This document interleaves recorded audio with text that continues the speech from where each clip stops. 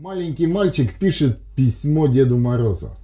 Дедушка Мороз, мне очень понравились те хлопушки, которые ты подарил мне в прошлом году.